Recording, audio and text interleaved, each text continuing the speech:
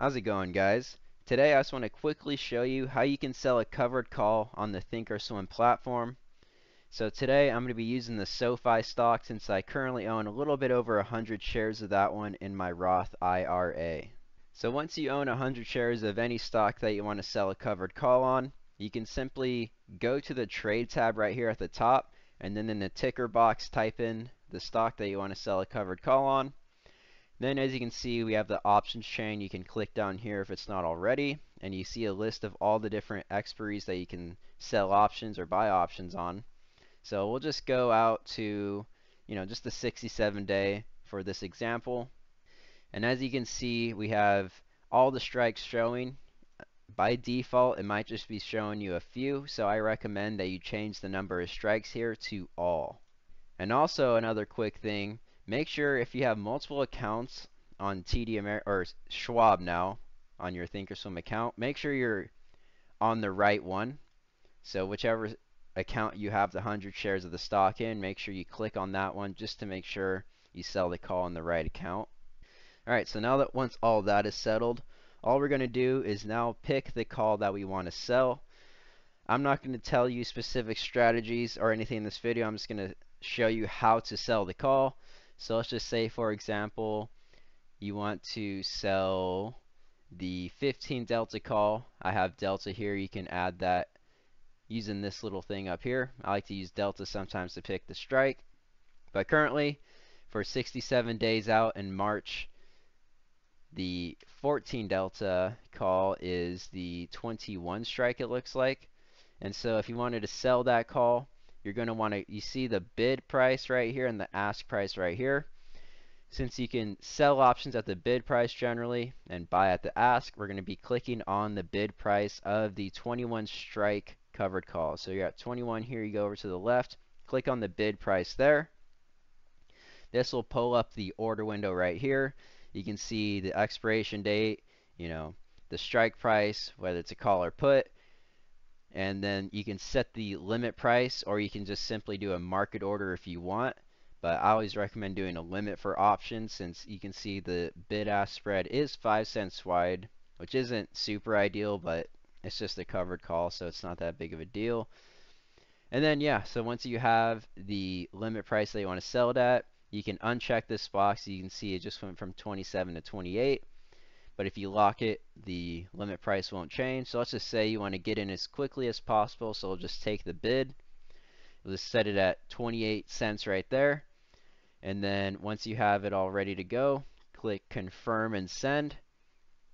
And then as you can see, the order summary right here pops up and it shows you make sure you're in the right account and you can see it says 28 limit to open and then once you're sure that's this is the call you want to sell, you would click send. I'm not going to do that right now for this video because I actually just closed out a covered call on this stock, but that is exactly how you sell a covered call using the Thinkorswim platform.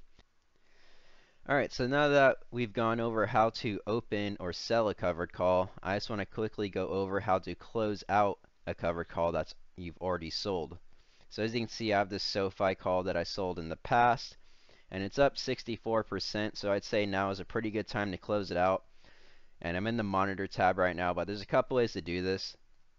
So if you find the call that you've sold, the covered call in your monitor tab, you can click on it, left click and then right click, and then do create a closing order, and then you know press buy plus one here.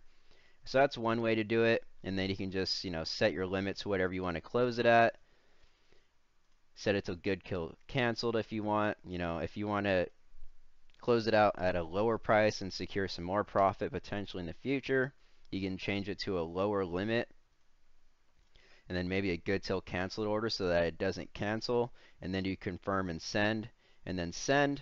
However, today I'm just going to close it out. And so another way to do it is to go to the trade tab and I'm using the SoFi stock again so I'm just going to type SoFi into the ticker box up there. And you can see this little red banner here. That means I am short an option in this uh, expiry. So we'll go here and you see the red banner here. I'm short the 30 strike covered call for you know the 21st of March.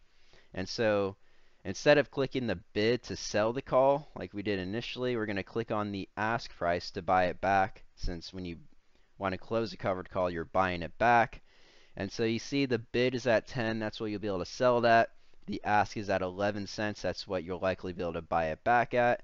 So once you click on the ask there, you can set the limit. I'm going to set it at 11 cents and that's what the ask is currently trading at. You set it for good till canceled, but I just want to get it filled today. You can even change it from a limit, you know, to a stop market, whatever you want. We're just going to use a limit at 11 cents.